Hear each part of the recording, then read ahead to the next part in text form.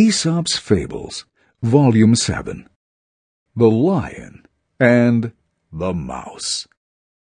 A lion lay asleep in the forest, his great head resting on his paws. A timid little mouse came upon him unexpectedly, and, in her fright and haste to get away, ran across the lion's nose. Roused from his nap, the lion laid his huge paw angrily on the tiny creature to kill her. Spare me, begged the poor mouse. Please let me go, and, and some day I will surely repay you. The lion was much amused to think that a mouse could ever help him, but he was generous, and finally let the mouse go. Some days later, while stalking his prey in the forest, the lion was caught in the toils of a hunter's net. Unable to free himself, he filled the forest with his angry roaring. The mouse knew the voice and quickly found the lion struggling in the net. Running to one of the great ropes that bound him, she gnawed it until it parted and soon the lion was free. You laughed when I said I would repay you, said the mouse. Now you see that even a mouse can help a lion. Moral. A kindness is never wasted. The dog, the rooster, and the fox a dog and a rooster, who were the best of friends, wished very much to see something of the world.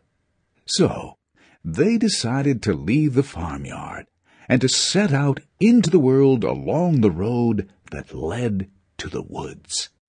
The two comrades traveled along in the very best of spirits, and without meeting any adventure to speak of. At nightfall, the rooster, looking for a place to roost, as was his custom, spied nearby a hollow tree that he thought would do very nicely for a night's lodging. The dog could creep inside, and the rooster would fly up on one of the branches. So said, so done, and both slept very comfortably. With the first glimmer of dawn, the rooster awoke. For the moment, he forgot just where he was. He thought he was still in the farmyard, where it had been his duty to arouse the household at daybreak. So, standing on tiptoes, he flapped his wings and crowed lustily. but instead of awakening the farmer, he awakened a fox not far off in the wood. The fox immediately had rosy visions of a very delicious breakfast. Hurrying to the tree where the rooster was roosting, he said very politely, A hearty welcome to our woods, honored sir. I cannot tell you how glad I am to see you here. I am quite sure we shall become the closest of friends. I feel highly flattered, kind sir, replied the rooster slyly. If you will please go round to the door of my house at the foot of the tree, my porter will let you in.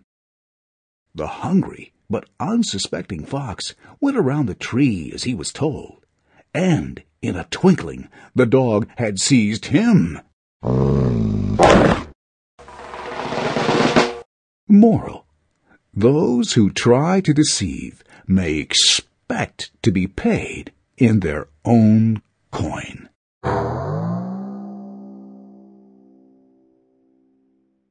The Donkey and His Driver A donkey was being driven along a road leading down the mountainside when he suddenly took it into his silly head to choose his own path. He could see his stall at the foot of the mountain, and to him the quickest way down seemed to be over the edge of the nearest cliff. Just as he was about to leap over, his master caught him by the tail and tried to pull him back. But the stubborn donkey would not yield and pulled with all his might. Very well, said his master. Go your own way, you wilful beast, and see where it leads you. With that he let go, and the foolish donkey tumbled head over heels down the mountainside. Moral. They who will not listen to reason, but stubbornly go their own way against the friendly advice of those who are wiser than they, are on the road to misfortune.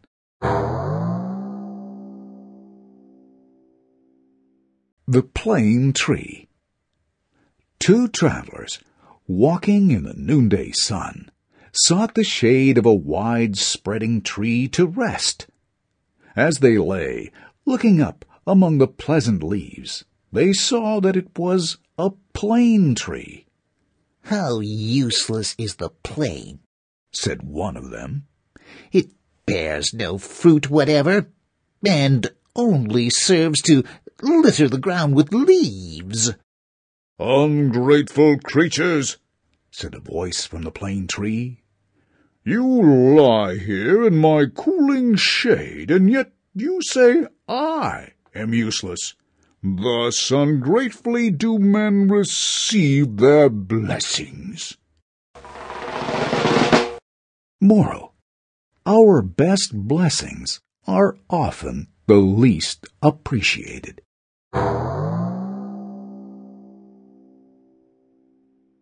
The Farmer and the Stork A stork of a very simple and trusting nature had been asked by a party of cranes to visit a field that had been newly planted. But the party ended dismally, with all the birds entangled in the meshes of the farmer's net. The stork begged the farmer to spare him. Please let me go, he pleaded. I belong to the stork family, who you know are honest and birds of good character. Besides, I did not know the cranes were going to steal. You may be a very good bird, answered the farmer, but I caught you with the thieving cranes, and you will have to share the same punishment with them. Moral. You are judged by the company you keep.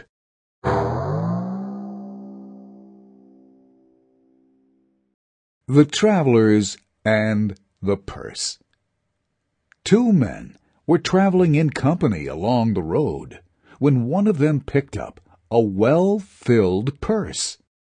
How lucky I am, he said. I have found a purse.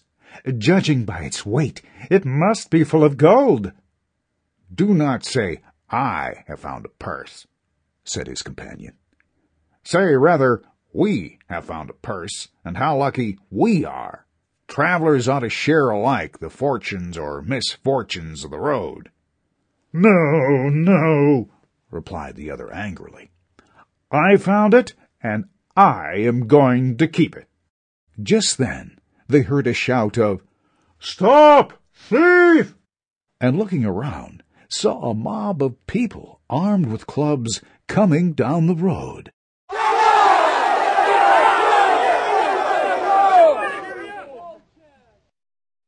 The man who had found the purse fell into a panic. We are lost if they find the purse on us, he cried. No, no, replied the other. You would not say we before, so now stick to your I. Say, I am lost. Moral.